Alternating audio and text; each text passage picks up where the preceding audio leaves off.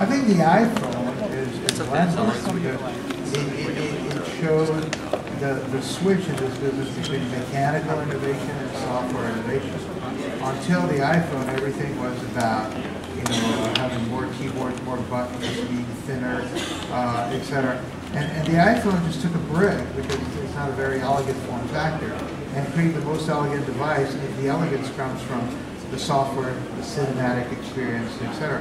And that's what's great about, about it. So the, the, the iPhone has an impact on this industry that is far beyond how many units it's going to sell.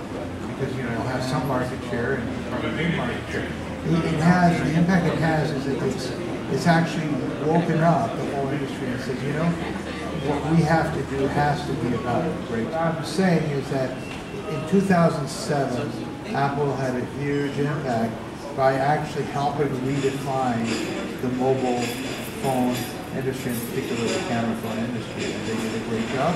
And it's got, you know, everybody rethinking, and that's great, because that helps create more innovation, more opportunities, and uh, a bigger industry, and I think it's good for everybody.